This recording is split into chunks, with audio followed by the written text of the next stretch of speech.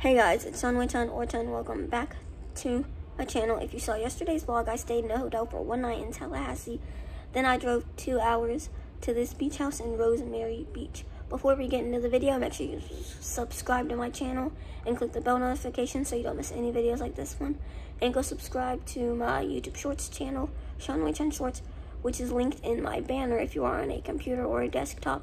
Or you can scroll down to the homepage of my channel and it is also found there. And go follow my Instagram, Shanwei, which is also linked in my banner if you are on a computer or a desktop. So what we did is we went to a place called Nathan's Hot Dogs for lunch, which is really good. So if you ever see one anywhere, gotta try it. Then I got to see the Gulf for the first time, and now here's my reaction. First view of the Gulf of Mexico. She can't swim because red flags for riptides and you're fined $500. It's first. Guys, so it is like 9.44 or about 9.45 right now.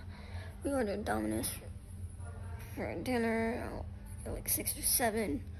And it is almost 10 and because they only had one oven working, so um, my dad, my uncle, and my sister's fiance, I think, and my uh, cousin, whoever, I'm not sure who, but they went to go get it now.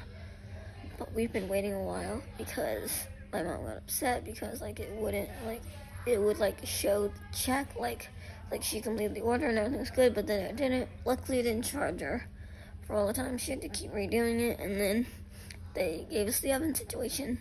So we've just been snacking on chips and soda. I'll catch up with you guys tomorrow. I hope you enjoyed this mini vlog. Bye.